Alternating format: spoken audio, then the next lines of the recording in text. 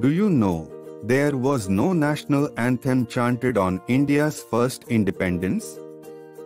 क्या आप जानते हैं भारत की पहली स्वतंत्रता पर राष्ट्रगान नहीं गाया गया था This is because the national anthem written by Sri Ravindranath Tagore was officially promulgated by the Indian Constitution Assembly on 24th January 1950.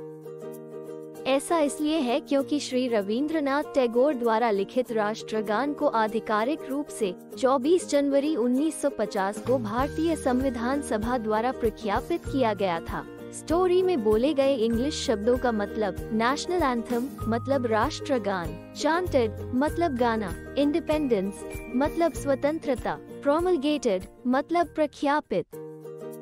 इसी तरह मनोरंजक तरीकों से अंग्रेज़ी सीखने के लिए आज ही सब्सक्राइब करें www.11minutesdaily.com